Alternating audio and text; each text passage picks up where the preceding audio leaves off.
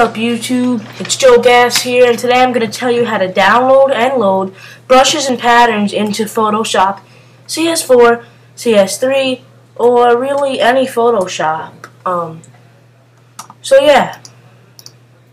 Also, before I start the video, I'd really like to make a shout out to iJordan0023.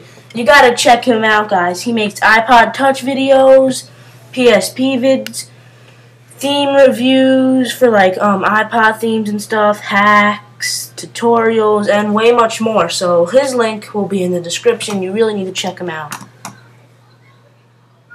So what we're going to do is open up Safari and go on to brusheezy.com. The link will be in the description, and you don't need to have this as your source. You could simply Google search brushes, abstract brushes, whatever you're looking for.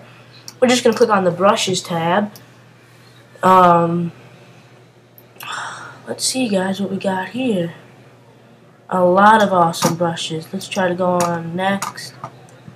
Try to find something really cool. This looks very nice. We'll click on that and click preview and when we preview it it'll open up in a window of the splats we got. They look like paint splats or whatever so we're going to download that. It's very very fast to download. Now some will be a folder like this one and you'll just open that up and when you open it up it'll have the brush files in it and others will just be the brush file itself which is really more simpler. So I'll just drag that to my desktop and go onto the patterns tab. Now they do have a lot of awesome patterns also. And don't forget guys on the side here you could search for a category. We could look for some grunge patterns filter that out.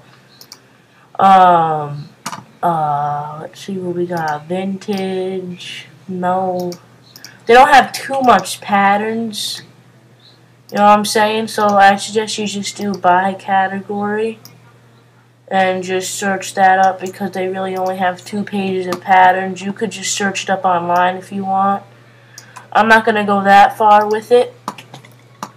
So let's go find some good patterns. Um, the carbon fiber looks pretty nice. Preview that and it'll show you the pattern. That's a nice pattern. So download that too, and wow, that was fast. Drag that to our desktop, clear that up, X out of here, and let's go on to Photoshop, guys. Um, so once we open up Photoshop, we're just to load the brushes in.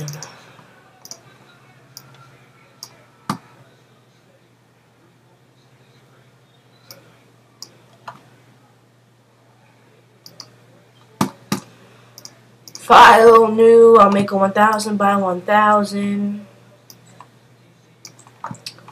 Go to our brush tool. And right here, when you select your brushes, I've loaded all these brushes on. Um, you're just going to want to click this little play button right here. And you're going to click load brushes. Now there will be some brushes that we downloaded. The splat brush. When we load that up, it should have all these splatters. Now I'm just going to go on the help tab and type in pattern. Um, let's see. Oh, we click on that. I know there's a way to do it, guys, but whatever. Layer, new layer fill, pattern. Okay. And just click on this and click the play button. Load patterns and we're gonna load the fiber carbon pattern. So once we've done that, it should pop up like that. I'm gonna load that in. I'm gonna go on my brushes. I'm gonna choose a paint splat. Click there. Okay, now we can do it.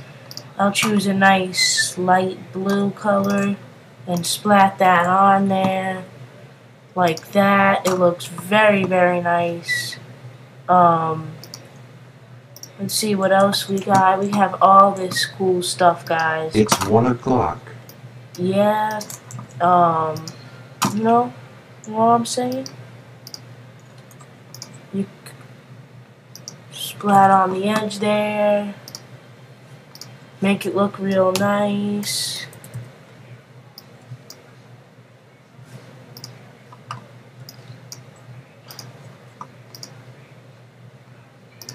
Know what I'm saying, guys?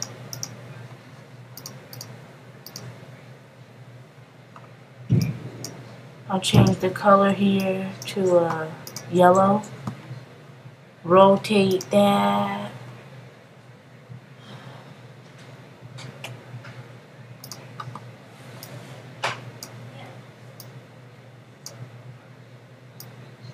So, yeah, guys. I made a really quick design that fast in Photoshop just by downloading some nice brushes and patterns. Well, thanks for downloading, and once you're done, I'm not downloading, I'm sorry guys. Thanks for watching this video, and once you're done, you can delete the brushes since they're already loaded into Photoshop.